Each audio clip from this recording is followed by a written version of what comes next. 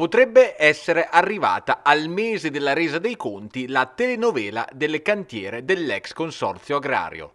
Area del porto di Pesaro dove nei progetti pianificati dovevano sorgere due torri da 84 appartamenti destinati a modificare radicalmente la fisionomia della porta d'ingresso di Pesaro all'Adriatico, voltando pagina sul rudere del consorzio abbattuto nel novembre del 2020 dopo anni di progressivo decadimento.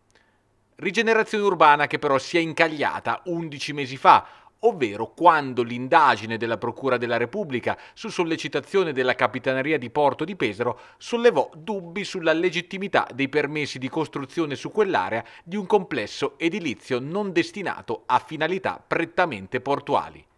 Permessi che furono rilasciati dal Comune di Pesaro nel 2018.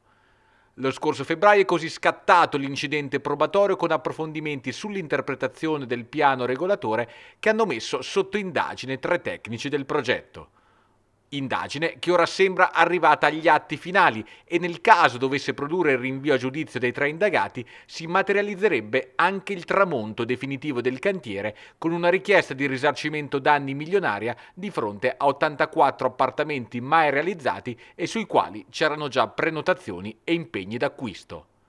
Valutazioni che stanno facendo il gruppo di investitori israeliani che assieme all'azienda Renco detengono la titolarità dell'edificazione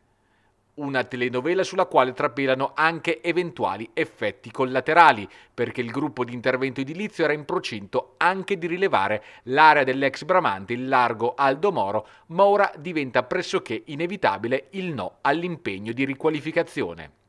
Allo stesso modo sembra già sfumato il ventilato impegno dell'Arenco all'ex convento delle suore di Via Guidi, dove era in ballo una riconversione della struttura in una trentina di appartamenti.